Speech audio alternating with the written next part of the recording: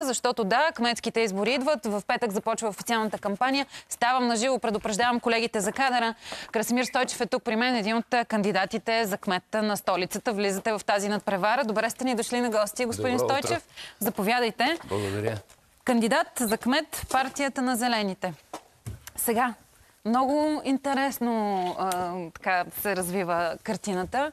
Вчера научихме а, вече кандидата на, на ГЕРБ. Дайте няколко коментара по отношение и на Антон Хекимян като кандидат за кмет на ГЕРБ и по отношение на Васил Тързиев, който е кандидат пък на Продължаваме промяната Демократична България.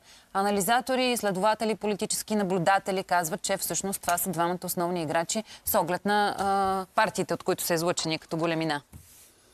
Сега аз поимам принцип, че а то е, че умните хора обсъждат идеи. Ще стигнем до тях, не се тревожете. Не, не, не се, не се тревожи въобще, а посредствените хора обсъждат други хора. И обикновено се въздържам а, от тази гледна точка. Дали а, те двамата ще стигнат до а, балотаж, аз не мога да кажа, защото всичко зависи от разбирането на софианци какви са проблемите на града и дали идеологическо противопоставяне ще ги реши или не. Уважавам... Аз мисля, че София проблемите са от съвсем друго естество. Уважавам това, което казахте. То е много, как да кажа, много го припознавам, дори лично аз, ако трябва да съм честна. Обаче в случая, в този въпрос не ви карам да коментирате, просто да коментираме едни лица, а да коментирате опоненти, т.е. да сложите всички на масата, където сте и вие и да прецените на везните всъщност колко тежка ще бъде тази битка. Добре. А, За вас, според тези опоненти, които Основната имаме. предпоставка е, че а, проблемите на София не са политически. Те са технологични. И решенията на огромна част от проблемите София и трансформацията в София е технологичен проблем. И трябва да поставите а, всички кандидати на тези везни, какво разбират от технологии и какви визии имат, как този град да се промени. Сигурно много хора, като си включат а, а, софтуера с картата, виждат червени светлини на определени кръстовища, зелени на други. И защо? Защото всички данни за цяла София, вашето, моето и поведението на всички нас, ние ги имаме. И можем да изградим един много ясен модел какво трябва да се направи с София, за да се промени, да се трансформира, за да може да имаш умен трафик, умен паркинг, всичко да е умно. А, аз си спомням, че един известен български политик а, беше казал, аз съм прост, вие сте прости и затова се разбираме. А, аз бих казал на софианци, вие сте умни, аз съм умен и затова ще се разбереме. Така че не искам да коментирам хора.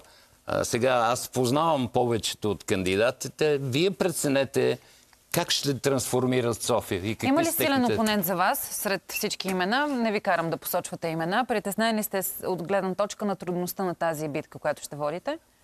Ако а, машините, политическите машини ги няма, аз не съм притеснен въобще.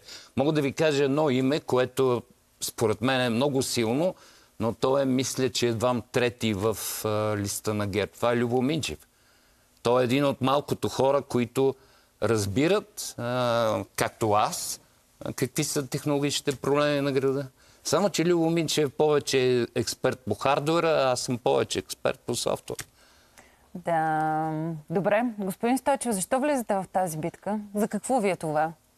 Какви са мотивите ви? А, много хора ме питат за какво ти е всичко от това. И аз ви питам. Аз ще ви А, кажа. може би защото и хората подозирам, че се вълнуват от, а, Аз ще ви от този кажа. въпрос. А, първо, това е естественият развитие на човек, който е почнал да мисли и да влиза в частни бизнеси, най-накрая да каже, ей, частният бизнес е частен бизнес, но най-накрая ние сме длъжни да дадем нещо и на това общество.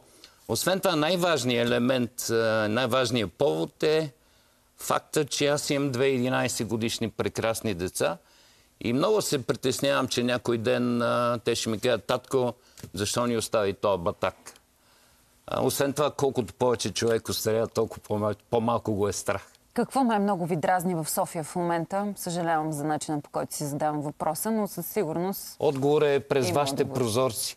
Може ли до тази прекрасна сграда да има бетонов възел? А къде да отида? Как ще го преместя? Това е бизнес. Как от тук нататък си ще е го бизнес, поправите това? трябва да е извън София. София е елементарно. Аз мога да ви кажа, че в рамките на една година мога да намаля трафика в София. Проблем Как? с 25%. С анализ на трафика и пренасочването и рационализирането му. Това е елементарно. Пренасочването ще бъде ли достатъчно или трябва да се построят и паркинги допълнително? Паркингите са синекламон, без това не става. Но, представете си следното. В момента всички кръстоща в София са по-малко или повече свързани. Данните за трафика са на лице. Има прекрасни софтуери, с които ние може да анализираме този трафик и да го рационализираме. Да трансформираме града. Аз още един път казвам, всичко това са технологични проблеми. Мисля си, ако е толкова просто, защо не се е случило до момента? Това една защото ваша колежка ме са, пита. Всички са м, отправили неведнъж критики по отношение на трафика в София и евентуалните варианти той да бъде облегчен. Ако е толкова проста работата, защо Просто не е свършена? Не знам. Беше проста работата, примерно да се а, свърши работа с детските градини преди 10 на години. Това е проблем, който няма да скоро да се реши, защото никой не е преценявал тези ситуации. Много неща са адски прости. Примерно медицинското обслужване в София е един прост проблем, който не е решен. Замислили сте защо има 5-6 а, общински болници и 24-5 така наречени ДКЦ-та, които им казаха поликлиника по-рано. Ако те всички се обединят в един холдинг, няма ли да е по-простичко? Няма ли една майка, ако детето и го боли ухото в 3 посред нощ, да може да влезе в информационна система на този холдинг и да намери веднага при кого да отиде? Всичко това са елементарни стъпки. Но ние се замисляме за ремонта на Шишман, за пренареждане на жълтите павета. А, а света е, а, и градът е направен, за да бъде комфортен на хората. Ние не мислиме за комфорт. Ние мислиме за някакви странни идеи, какво да направим, какво да не Е, направим. ремонтите и жълтите павета не знам дали влиза до графата странни идеи, защото знаете сагата специално с жълтите павета. Каква е? Това е сърцето на София. Много ключова част. Би следвало да има съгласен. добър вид. И Да, той имаше добър вид с жълта павета преди да ги пренарежат, но това е дребен проблем. И ако говорим за центъра на София, защо не говорим за улица 453, примерно в какво Люлин? има там? Не знам, но, но никой не говори за там, а там живеят хора също. А, има още един път. Изграждането на модел на града с всичките хора и тяхното поведение ще ни даде възможност да прецениме къде да има детска градина, къде Дайте не. да влезем вече в конкретика с вашите основни приоритети. Това е въпрос, който задавам на всеки един кандидат до момента влизал в студиото ни преди старта на формалната същинска кампания за местните избори. Кои са основните задачи? Влизаме в хипотезата, че вие сте избран за кмет. Три неща ми посочете, които първо ще направите.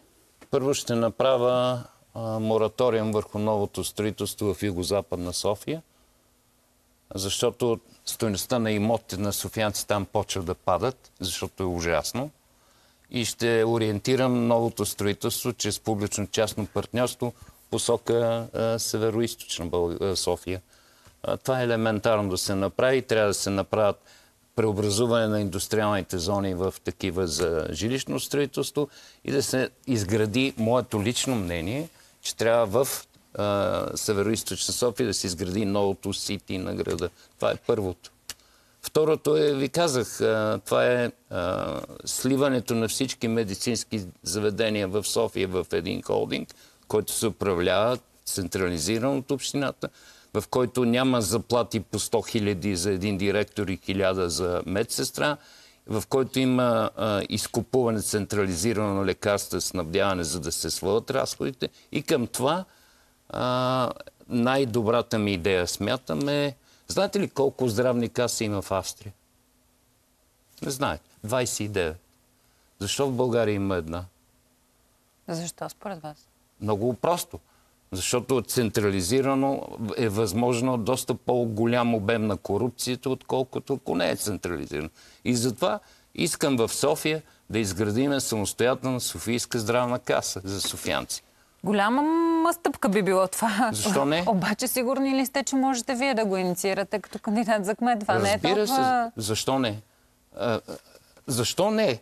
В Конституцията пише, че трябва да има една здравна каса.